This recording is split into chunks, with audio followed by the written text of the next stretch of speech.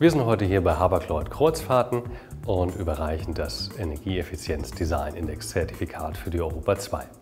Der Energieeffizienz-Design-Index EEDI wurde entwickelt, um einen weltweit einheitlichen Vergleichsindex für Schiffseffizienz und Umweltfreundlichkeit zu etablieren.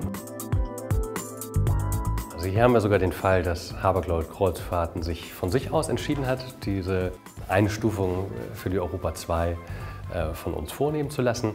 Herausgekommen sind 31 Prozent unterhalb der Referenzlinie. Das bedeutet 31 äh, Prozent weniger CO2-Ausstoß im Vergleich zu ja, anderen Kreuzfahrtschiffen ähnlicher Größe, was ausgezeichnet ist. Das ist eine kleine Weltpremiere, da ja, bisher noch nie ein Kreuzfahrtschiff ein solches Zertifikat erhalten hat.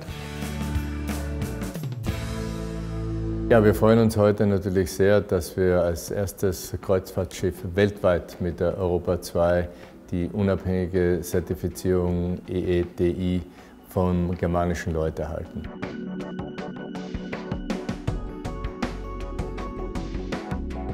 Europa 2 erfüllt nicht nur im Design und ihrer Hotel- und Gastronomieleistung auf höchstem Niveau 5 Sterne Plus Standard, sondern dank ihrer technischen Ausstattung auch im Umweltbereich.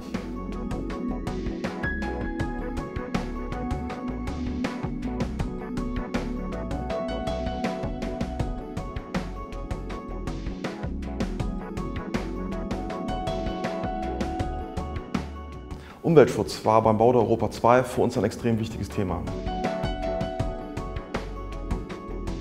Erfreulich niedrigen Emissionswerte der Europa 2, für die wir heute das EDI-Zertifikat erhalten haben, liegen vor allem an dem Verbauen modernster Ausrüstung an Bord, aber auch der sehr intensiven Strömungsoptimierung des Rumpfes.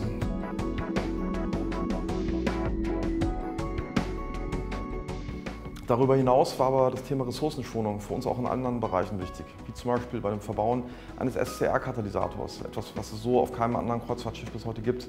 Dieser Katalysator filtert bis zu 95 Prozent aller Stickoxide aus dem Abgas. Wie auch zum Beispiel der sehr modernen Kläranlage, die wir an Bord haben, die auf biologischen Wege ähm, die Schadstoffe abbaut.